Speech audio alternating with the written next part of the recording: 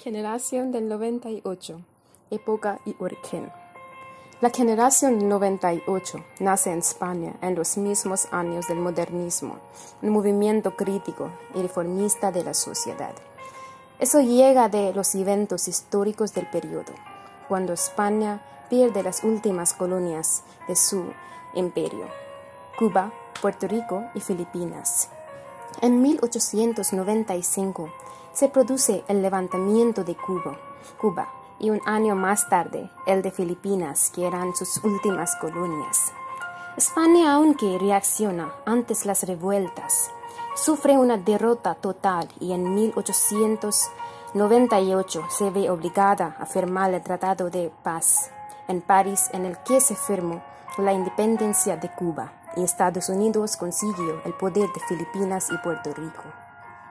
Y todos estos acontecimientos habían mostrado la decadencia política, social y económica de España misma y así acentuando los problemas internos. Los escritores de la generación del 98 intentaron protestar contra los problemas de España, haciendo este el tema principal de muchas sus obras y trataron como reformar la vida. Temas y rasgos de la generación 98 el tema de España. Los autores mezclan el dolor y el amor por España, los rechazos críticos y la exaltación. Rechazaron ante todo la política del momento, exaltaron en cambio y sobre todo en su madurez. Una España eterna y espontánea, de allí su interés por el paisaje, por la vida de los pueblos y por la historia. Las tierras de España fueron recorridas y descritas por los autores con esa misma mezcla de dolor y amor. Las preocupaciones existenciales ocupan un lugar muy importante en la temática 98. Hay que situarlas en la crisis de fin de siglo. Un intenso subjetivismo, el yo del protagonista impregna toda la novela la realidad se percibe a través de las emociones y sensaciones del autor.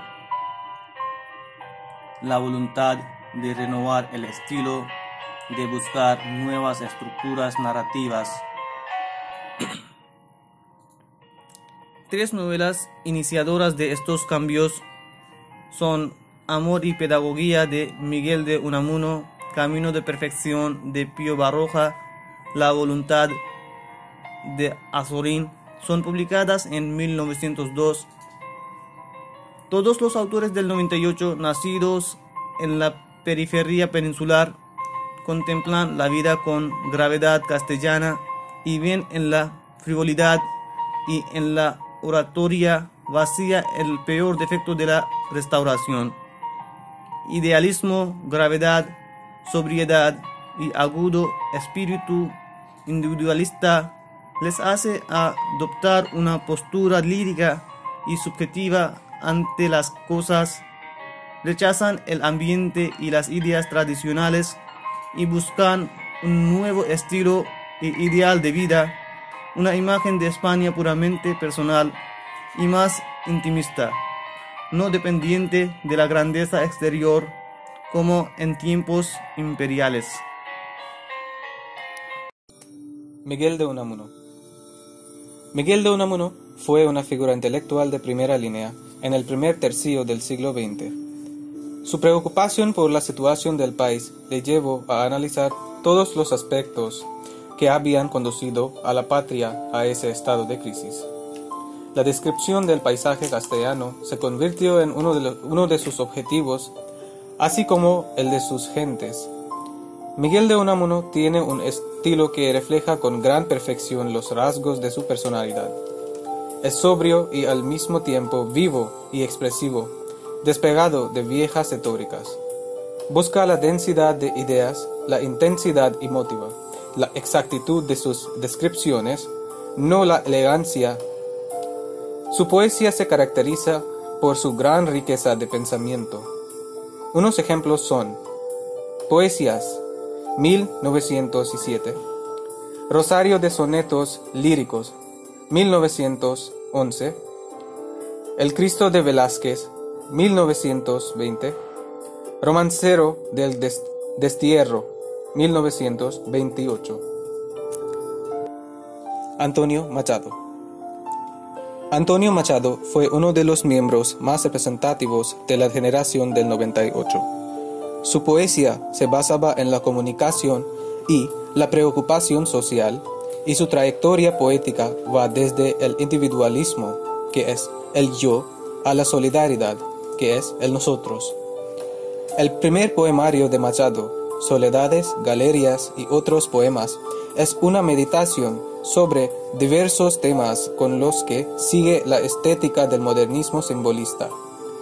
Se vale de símbolos y metáforas reiterados, sencillos y cargados de autenticidad. Y su presencia queda subordinada siempre al contenido comunicativo. Ejemplos de símbolos usados por Machado. El camino, la vida, el jardín, la intimidad, el río, la vida que fluye la fuente, el tiempo pasado. El libro más famoso del autor, del cual proceden casi todos los poemas a los que Serrat puso música, es Campos de Castilla. En este se configuran los temas del paisaje castellano, el amor, y el dolor por la pérdida de su esposa y el interés de la regeneración española. Hungry Generation, origen y época. Después de la independencia de India en 1947, Bengala fue capturado entre un tiempo tumultuoso tras la era sombría de la partición. La afluencia gradual de las personas desplazadas estaba tomando un gran golpe en la estructura social de Bengala, con un aumento de la pobreza, el hambre y la muerte. El medio estaba creando a una brigada de los jóvenes entre los bengalíes de clase media, que fueron todos contra el gobierno, no con sus armas, pero con su golpe contundente de pluma y papel mezclándose en la poesía. Así dio lugar al movimiento de Hungry Generation, vanguardista en la lengua bengalí. El movimiento de Hungry Generation fue lanzado en 1961 y continuó hasta 1965 por un grupo de poetas bengalíes jóvenes. Fue encabezado por el famoso cuarteto Malay Roy Chaudhry, Samir Roy Chaudhry, Shakti Chattopadhyay y Devi Roy. Comenzó de la clase de la casa de Malay Roy en la ciudad de Patna habían acuñado Hungryism de la palabra hungry utilizado por Geoffrey Chaucer en su línea poética, In the Sour Hungry Time. El tema central del movimiento era la idea de la historia de Oswald Spengler, que una cultura enferma se alimenta de alimentos culturales traídos de afuera. Octavio Paz y Ernesto Cardenal también habían visitado Melaroy durante la década de 1960.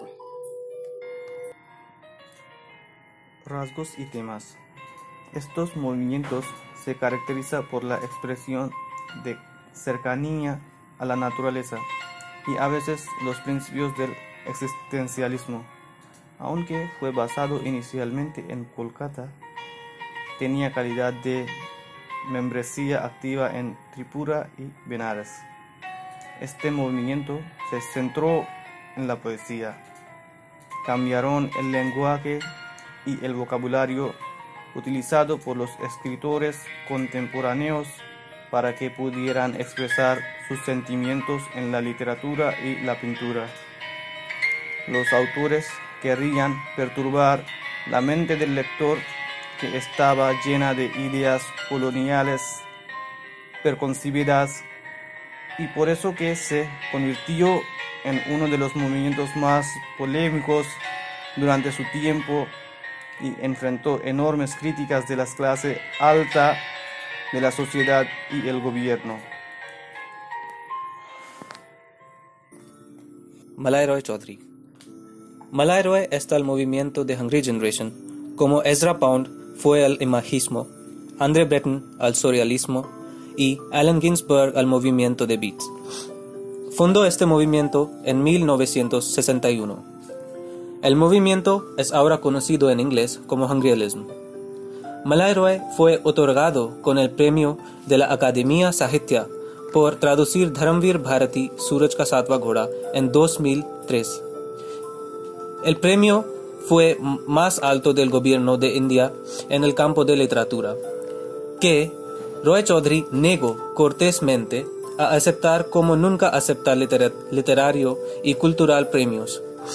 Ha estado rechazando premios de varias publicaciones periódicas desde que empezó a escribir poesía.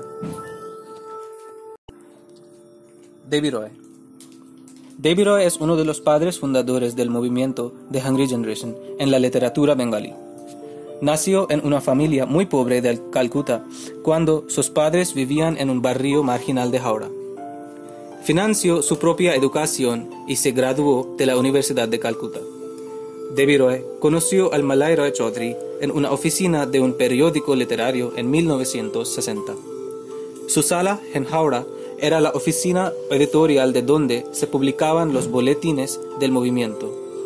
Junto con otros 10 miembros, Deviroe también fue arrestado en 1964 por cargos de obscenidad en la poesía. Él desarrolló nuevas clases de oraciones en sus poemas que ahora se vienen a ser conocidos como roturas lógicas, así como salto de la imagen. Los poetas bengalíes subsecuentes han seguido el método en el siglo próximo. Como resultado, es considerado uno de los primeros poetas bengalíes postmodernos.